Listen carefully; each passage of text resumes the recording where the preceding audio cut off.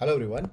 In this INR number 98, we are going to discuss about uh, another important PYQ for all exams that is keratoconus. So it is both uh, for uh, FMG exam as well as NEET PG exam. So it's a very important topic. So what is keratoconus? Keratoconus is a bilateral cone shaped cornea, right? So bilateral cone shaped cornea and remember that it is not because of inflammation. So it is non-inflammatory. So what are the reason for this? So this bilateral cone-shaped cornea is because of progressive myopia or irregular astigmatism. So these are the two important reason for keratoconus right? See the name itself is kerato means cornea and conus means cone shape right? What will be the early sign? So there are three important early sign. Oil drop red reflex. Oil drop red reflex second is Vogt striae so you can see here Vogt striae the vertical lines. And third is the scissor reflex. So these are the three early signs in the keratoconus right? So what is number one? Oil drop red reflex which you will see on direct ophthalmoscope right? What are these things? These are the dark or reddish brown circular shadow right? This dark brown or reddish brown circular shadow will be disrupting the red reflex which resembles like a oil drop, right? So this is the oil drop reflex with direct ophthalmoscope.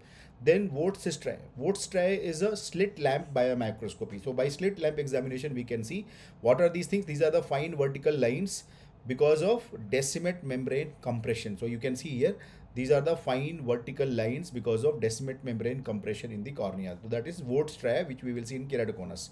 Then scissors reflex scissors reflex you can see on retinoscopy. So you cannot examine uh, you cannot see the image by static image. You can see only when you are doing the experiment or when you are examining the patient. So when you are going to see this this is a scissoring motion during the retinoscopy right? So this is the scissoring motion during the retinoscopy right? So what are the three important early sign? Number one oil drop red reflex which we are seeing here.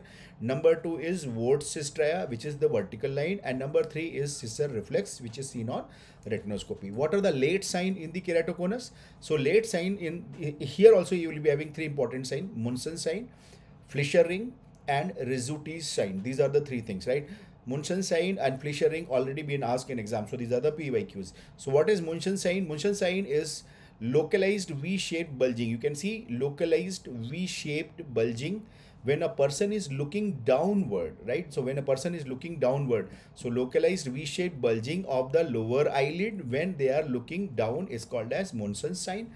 What is Fleischer's ring? Fleischer's ring is due to iron deposition at the base of the cone, right? So iron deposition at the base of the cone, you have to use the uh, cobalt blue light to visualize them. So it can be demonstrated by cobalt blue light as a blue circle. So now in this cobalt blue light, and you can notice there are arrow had been marked. So these are the blue circles. So this blue circle, this area is called as Fleischer ring, which is having iron deposition. Third is the Rizzuti sign. What is Rizzuti sign? This is a bright reflection from the nasal area of the limbus. So you can see nasal area of the limbus is here and this is the bright reflex, right? So this bright reflex showing the conical form of the keratoconus. So bright reflection from the nasal area of the limbus when light is directed to the limbus temporal area, right? So when they are directed from the limbus temporal area, so that is what we are going to see this kind of Rizzuti sign. So what are the late sign? Munson sign, then Fleischer ring and Rizzuti sign, right? Then what is the investigation of choice in this patient because corneal curvature is affected. So corneal curvature we can we, we can we can measure this by corneal topography or we can estimate this by corneal topography. So we will be mapping the surface curvature of the cornea and this is example of corneal topographer, right? So this is the corneal topographer which is measuring the curvature of the cornea, right? And what will be the treatment? Re treatments are rigid contact lenses, penetrating keratoplasty, Intacs. So you can see this is the Intacs we are seeing here. So Intacs are the intracorneal ring segment. So you can see there is a intracorneal ring segment which is looking a little brighter. So these are Intacs. Then DALK, DALK is a deep anterior lamellar keratoplasty and C3R. C3R is a corneal collagen cross-linking and this corneal collagen cross-linking is with riboflavin vitamin B12 eye drops right? So this is what we are going to treat this patient. So these are the important point about the keratoconus.